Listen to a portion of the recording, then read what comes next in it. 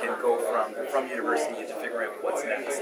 GrowLab is a is a private company. Uh, we uh, went out to the market about a year and a half ago and raised money from local venture capitalists uh, throughout Canada. Wow, that's, yeah, you guys tackle the hard one. And yeah, The idea was to provide services uh, for entrepreneurs that were interested in going from a startup idea into commercialization and then end up becoming a company at the end of it. Heritage or something. Yeah, sure. Um, so my partner and I went through the first GrowLab experienced last August to December. They were fundamental in helping us get started, secure the funding, learn what it takes to be a business.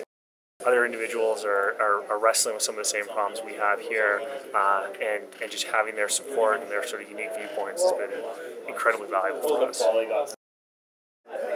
Brian Pepville, good to meet you. So Brian works uh, with And how are you, so I mean, what, when, when do you have to start this? BC's role in this actually is very much in the venture capital area. We've got a great venture capital program. We increased uh, the amount of money allocated to this year by $3 million. It allows business to tap into tax incentives to drive small companies like this and allow them to grow. Yeah, yeah, and they're BC grad just. the, the notion of being with startups that are facing the same obstacles as we do and having the support from them every day is phenomenal. The energy level is super high. What's up for the future? For us, it's all about just growth, building out the product, uh, building out the team, and, and just keeping things exciting.